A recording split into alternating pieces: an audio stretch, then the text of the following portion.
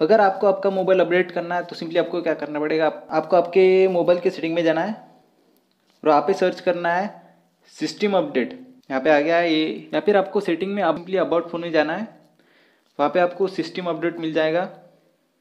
उस पर आपको क्लिक करना है उसके बाद में यहाँ पे जो है यहाँ पे आपको दिख जाएँगे कि आपको अपडेट में क्या क्या मिलने वाला है।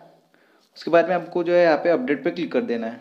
उसके बाद में यहाँ पे आपको पूछेगा कि आपको आपका नेट ऑन रखना है। उसके बाद आपको जो है अपडेट पे क्लिक कर देना है। उसके बाद आपको पूछेगा कि आपके मोबाइल का डाटा यूज़ करना है या फिर आप वाईफाई भी चूज़ कर सकते हो। तो हम यहाँ पे जो है मोबाइल डाटा से डाउनलोड करेंगे। तो हम यहाँ पे डाउनलोड पे क्लिक कर देते हैं और आपको यहाँ पे नोटिफिकेशन में भी दिखेगा। उसके बाद आपका अपडेट डाउनलोड हो जाएगा। उसके बाद आपको यहाँ पे रिबूट नाउ की बटन दिखेगी उस पर आपको जो है क्लिक कर देना है। उसके बाद मैं यहाँ पे जो है अपडेट इंस्टॉल कर रहा हूँ तो आपको जो है यहाँ पे परसेंटेज भी दिखाएगा वो। उसके बाद सिंपली आपका मोबाइल जो है रिबूट हो जाएगा। इस तरीके से आप आपका मोबाइल अपडेट कर सकते हो।